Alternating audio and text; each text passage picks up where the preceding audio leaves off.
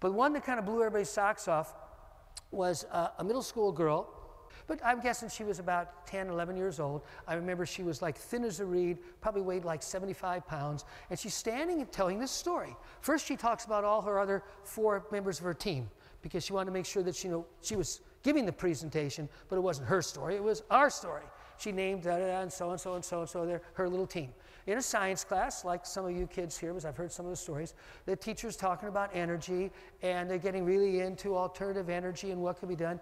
And they say, Our school should have alternative energy. And the teacher says, Yeah, you really should. And like some of the educators here, it was the teacher who said, Great, what do you want to do? How can I work with you? Make a long story short, these kids with their teacher analyzed a lot of different possibilities. They got a lot of their parents involved because they needed to kind of look at some of the engineering options. And they came with the idea they wanted to build a vertical wind turbine. These five 10 year old kids, they want their school to have a vertical wind turbine. And because, you know, they'd worked out some of the engineering ideas with the teacher and some other parents. There's a great way, of course, to involve a lot of parents. And then she's telling this story, and she said, oh, we got this idea. Da, da, da. And we had our first meeting with the principal, and it was good. And the principal said, we got to talk to the local mayor. This is a part of St. Louis that has a local governance system. The, the local mayor, uh, because this mayor will have to kind of be behind the idea. And then I remember she said, you know, I thought the first meeting with the mayor didn't go very well. She didn't ask us many questions, and we left thinking that maybe she really didn't think it was a great idea. But then we got invited back three weeks later to do another presentation. So we're back. He said, That time the mayor said, I think it's a great idea. I think you should do it. Anyhow, this is the story this 10 year old girl is telling to a group of about 250, mostly adults, you know, three quarters adults. And people are going, Wow.